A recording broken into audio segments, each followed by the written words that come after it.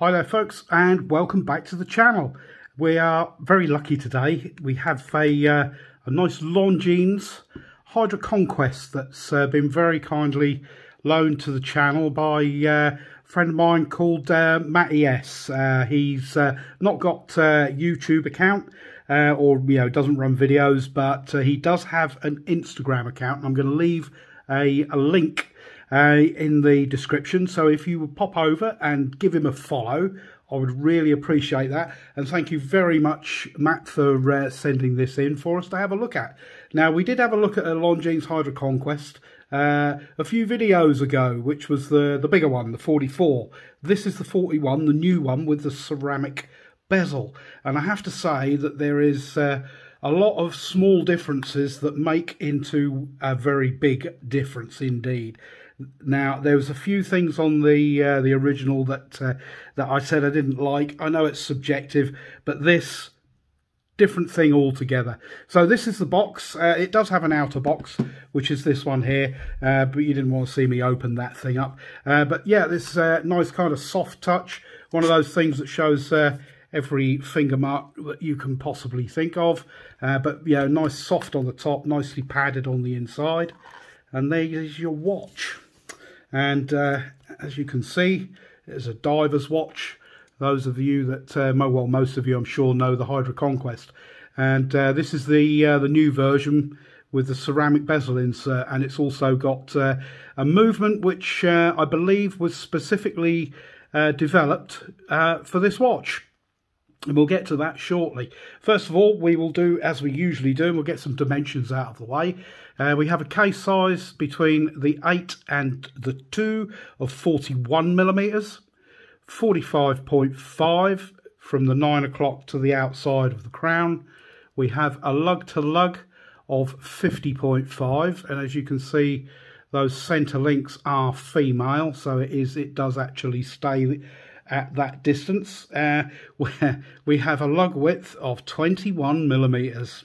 Yes, I know, I can hear you groaning, because I did.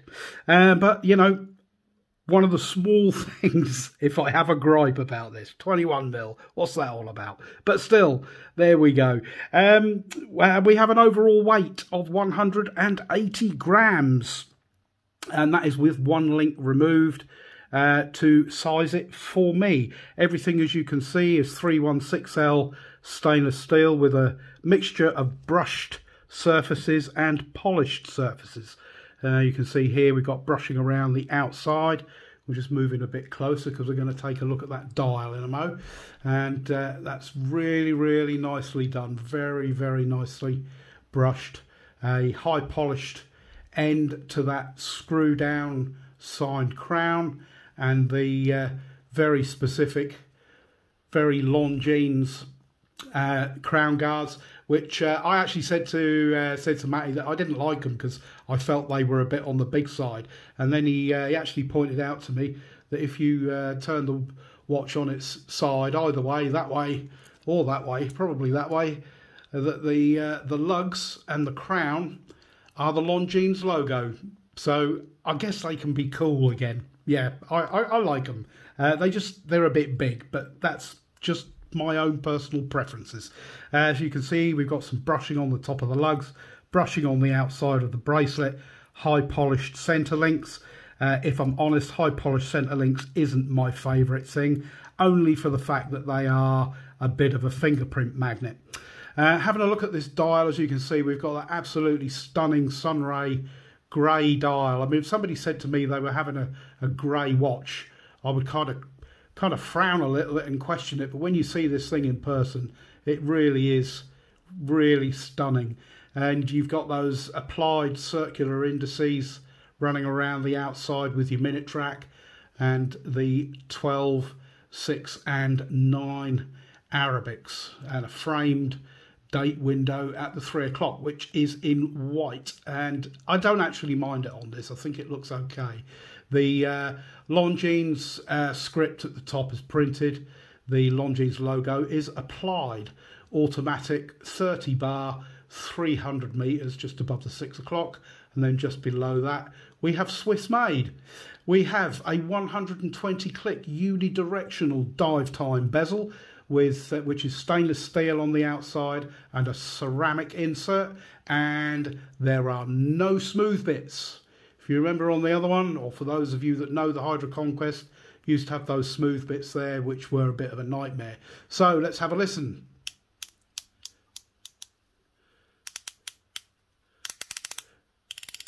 From a feel point of view it's it's got a good resistance to it uh, zero back play and it lines up with all the markers nicely and then when we get back to the 12 there we go and I have you just put some smudgy finger marks on there so we will do what we can to remove those uh, the movement in this, uh, as I was saying, it was a movement that was developed specifically for this watch. Um, now it's the uh, the caliber L888 and it vibrates at 25,200 vibrations per hour or 7 beats per second, which is unusual, but that does give it a 72 hour power reserve. And um, what I'm going to do is uh, I'm going to run the little time grapher app sequence and uh, we can have a look and we can see where this this with this uh, new newly developed movement is uh, is sitting see how it's doing so I'll see you on the other side of that bit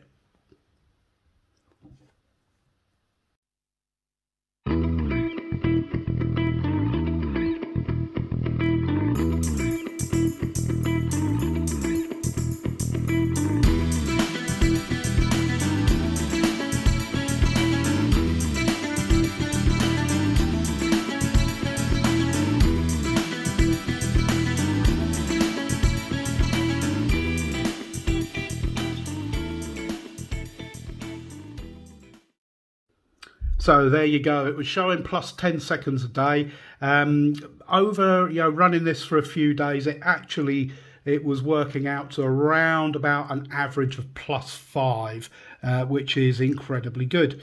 Uh, it's pretty close to being within COSC uh, certification territory. Uh, beat error of 0.5 milliseconds, so no dramas there. As you can see, we've got that nice smooth sweep of the second hand um, even though it's kind of one one tick a second less. it doesn't really show very much, so that's pretty good. Uh, those hands are very specific to uh, the Longines HydroConquest, and they are highly polished with uh, lume filling, and we will have a look at the lume shortly. Uh, going back to the bracelet, 21 mil, and it tapers down to around just over 19 mil at the clasp, which has a signed locking keeper and it is just a friction fit. And then we have a Longines signed milled out clasp. And then we have that, uh, there we go, that pretty iconic Longines logo in the centre. And then HydroConquest and your serial number, all stainless steel. Swiss made, water resistant to 30 bar. Uh, that is obviously screw down solid end links. I mean, you're going to expect that with something like this. Um, and the uh, the bracelet on this is actually I I mean the last one I had had the uh, the H the old H link bracelet. Uh, it uh, I kind of had a semi semi brushed set of center links on that um, as opposed to high polished which I think I preferred, uh, but that's just down to personal choice. You know, this is, uh, I mean, it is an incredibly well machined bracelet. They are solid end links. They are just push pins though. Um, and uh, as far as I know, they are not pin and collar. Um, but yes, those uh, the case profile is very nice. You've got the downturn in the lugs there, so it does conform to the wrist really nicely. And I think the fact that this one is 41 as opposed to the 44 that I had before, I mean, it really does wear quite well. Uh, if you uh, have another look, if you like, at the uh, the beginning of this, you can see it on my uh, seven and three quarter inch wrist. Right, let's do a lume shot, and then we will uh, we will start to wrap this up. We will give it a quick charge. It shouldn't need too much. It does have the uh, Swiss Super Luminova. Um, the lume on the previous one that I had was a bit disappointing. Uh, this does not suffer from that problem. That is incredibly bright and it does last, absolutely lasts throughout the night. You know, four, five, six hours, and you can still tell the time. And the uh, the application of it is very even, and the lume Pip is a slightly darker blue. Um, so yeah, that's that's pretty cool. But uh, yeah, very very nicely done. And uh, for some reason, I've changed the colour of my light, and I didn't want to do that. But yes. There we go. Longines HydroConquest. The serial number for this is the L3781469 and uh, the current retail price in the UK is uh, 1,300 GBP and I actually think that that is uh, that's a, a cracking price for a really really cool watch. I really really like this. You know, in terms of what I don't like, I'm still not a massive fan of those crown guards, if I'm honest, even if they do make up the Longines logo. But, you know, that's just my choice. And uh, uh, polished centre links on a diver isn't something that I, I, don't think that I would have. But the watch overall is, uh, is uh, really, really well made, very high quality finishing.